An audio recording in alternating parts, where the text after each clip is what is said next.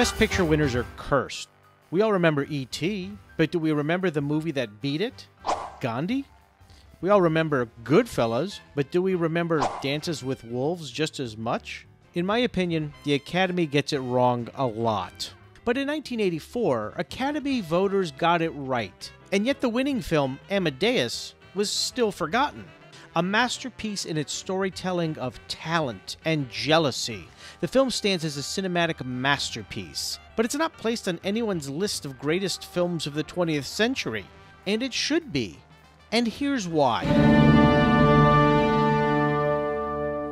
Adapted from Peter Shaffer's stage play of the same name, the film recounts the tumultuous relationship between two composers in 18th century Vienna Wolfgang Amadeus Mozart and Antonio Salieri.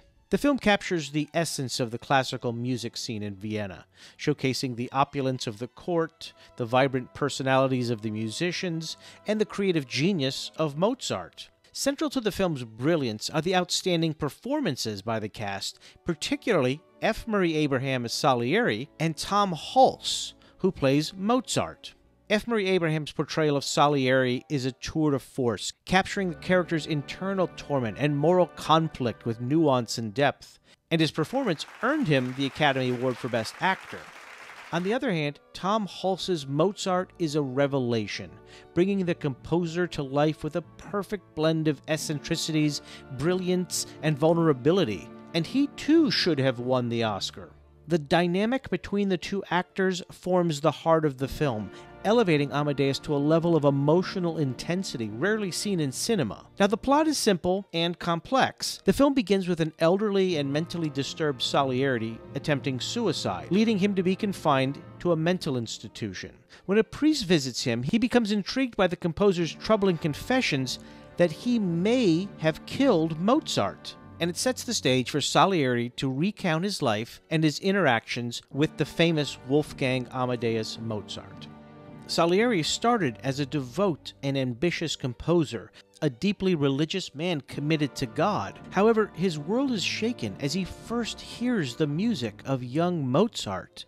The scene is incredible. Mozart's genius and seemingly effortless ability to create beautiful music and complex compositions astounds Salieri. The contrast between Salieri's disciplined and methodical approach to composing and Mozart's seemingly divine gift being wasted on an immature youth triggers a profound crisis of faith of identity for Salieri. The internal monologue Salieri feels as he listens to Mozart's music for the first time, expressing his awe and jealousy, is so relatable as Salieri becomes increasingly obsessed with Mozart's talents. He also becomes resentful of the seemingly unjust distribution of musical gifts by God. Salieri is torn between his admiration for Mozart's music and his growing envy, jealousy, and bitterness and the relationship between the composers becomes strained, silently even more strained, with Salieri attempting to undermine Mozart's career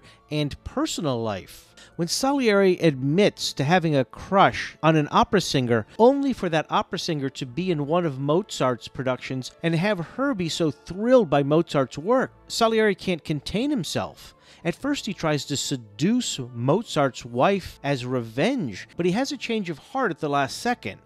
He then tries to spread rumors that Mozart molested a woman.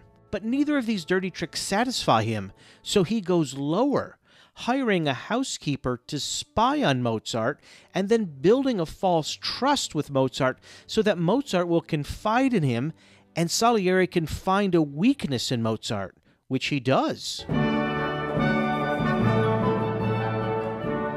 When Mozart's father dies, Salieri sees that the death put Mozart in a dark place. He's drinking more and he seems lost in his head. So instead of consoling him, he takes advantage of Mozart, dressing as a mysterious person who offers money for Mozart to work on a new and disturbing opera. It would be like an actress today quietly angry and hating Meryl Streep for how easily acting comes to her.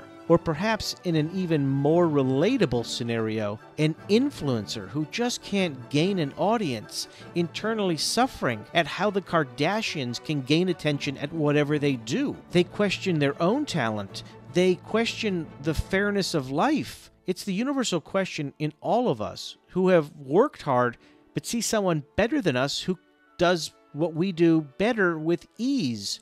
And when that person is an obscene man child like Mozart, who chases women, acts immature in the presence of the king, uses crude language, laughs like a goofball, Salieri can't help but question, after all of his training and work in life to try to be the best, why he must work so hard to only be seen living in the shadow of Mozart.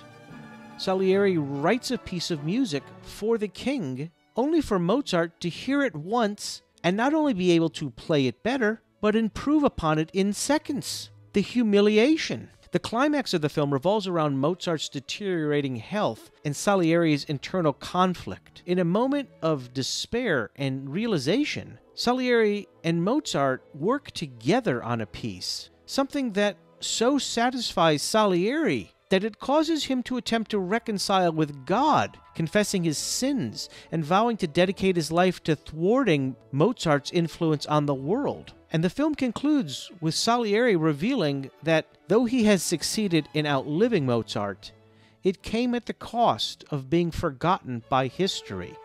The ultimate FU from God. The film depicts the world as a land of mediocrity, and Salieri was lucky enough to become a composer for the king and rise above the rest. But when he hears Mozart music, he says it's like he hears the voice of God. How can it come from this world of mediocrity where Mozart grew up? Salieri loves Mozart music so much, and he's so jealous of the talent that Mozart has that he can't admit to anyone, not even to himself, in his opinion, it's talent wasted on those who don't value it. He states at the beginning if God made us equal, what about talent? The irony of life.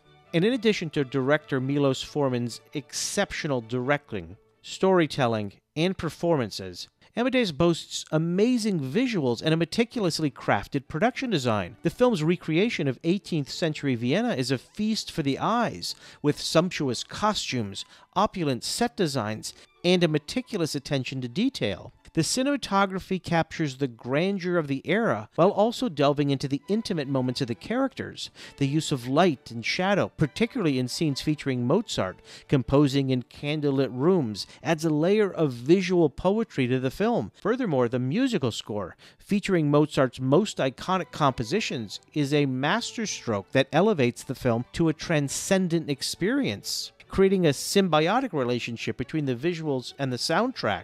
And the narrative is also so rich with historical details about the musical and the social milieu of the 18th century, offering a glimpse into the world of classical composers in the court of Emperor Joseph II, that you walk away learning and feeling at the same time.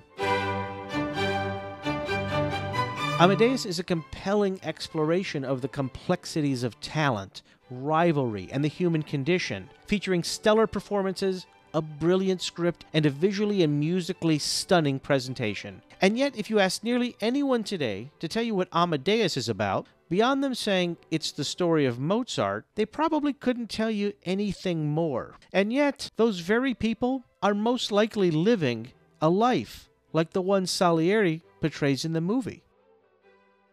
If you enjoyed this video, please give the video a like and subscribe to the channel so you don't miss all my future content. And if you're looking for more movie essays and documentaries about celebrities, check out these videos right here that you can watch right now. Like one on Nicolas Cage, Steve Martin, The Simpsons, and yes, even Pee Wee Herman. And if you got an idea you want to run by me, I'm open to hear it. Thanks for watching, and I'll see you in the next one.